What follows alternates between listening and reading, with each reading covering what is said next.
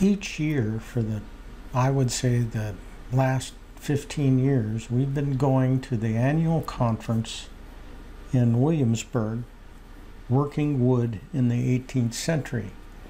Well, this year, there was no on site meeting, it was in Zoom, so it was difficult to find some piece that I would like to reproduce. Each year, I would come home with an idea of uh, another piece of furniture. And in this case, I saw this video, which was made probably nine years ago in the Cooper's uh, shop. This container, it's made like a barrel. It has uh, staves, several staves. It is elliptical, and I decided I wanted to create the design, create the model for this container, and uh, also then build it in the shop. So in creating the SketchUp, I'll go through this the steps that I used. And first of all is just to make a, a circle here. But uh, the difference here is to make this circle with 20 sides. So when you pick the circle tool, it uh, usually the default is 20 down here in the measurement. It'll say 24. Well, I've changed that to 20 by just typing in 20. And therefore, when I make a circle, there are uh, 20 sides. And I want that because that original piece has 20 staves and you can see where these staves will be positioned in the in the container but right now this is a circle and I need to change that circle to an ellipse and the dimensions that the master Cooper in Williamsburg gave me are uh, these dimensions uh, 12 by at the in the short dimension and 16 in the long dimension. And the way you change that circle uh, into an ellipse by using the scale tool. And I pick the scale tool and I want to uh, scale it on this red axis and I'm going to hold down the control key, the option key, because then it scales about the center. And when you move the scale tool, you can see that it turns it into different kinds of ellipses. And I want that 12 by 16. So that's, that's a, a start on that shaping of this container. Now the next thing to do then is just do a push-pull to create the uh, the height of this thing, which is 15 inches. Uh, that's what the Master Cooper thought that this piece uh, had is 15 inches in height. So there's there's no taper here. It's just a push-pull straight up to its final height. But now I want to taper that so that it is 16 inches at the top and it's should have been 18 I ended up with 17 and 15 sixteenths. Uh, so to get that taper again, uh, you can use the uh, the uh, scale tool, and I'm gonna. I think this is this is a group here, and I want to I select this bottom portion here that I want to scale and again choose the red axis and hold down the control key and then I can I can change the bottom ellipse to whatever I want. I should have picked 18 when I did this, but uh, but right now it's uh, it's 17 and 15 sixteenths, close enough. Well, then the next step is, well, what I did is I just drew lines down from these uh, these showing the staves and I've also drawn a quarter here because if I have a quarter of this chest then I really have everything because I can copy this and flip it and get all four quadrants uh, put together. So I've just simplified to one quarter of the chest. So that means that there are only five unique staves and uh, components, five unique sizes and shapes and um, dimensions and so on. So uh, I only have to deal with five staves to make this container.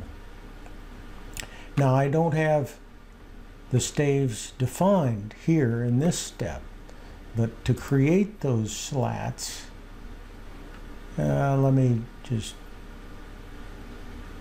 here's x-ray in an x-ray mode, you can see that uh, I did use the offset tool.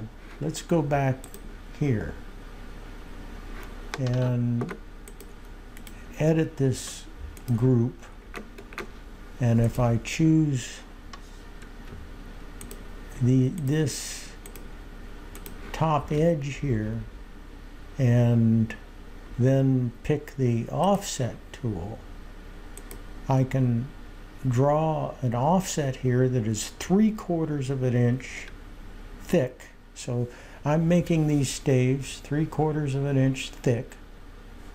And then I can draw the edges as well uh, to, to create the staves that are shown shown here in this this uh, this next slide.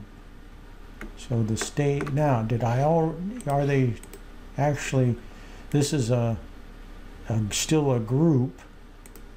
Uh, right at this point, these are not defined as slats, uh, components.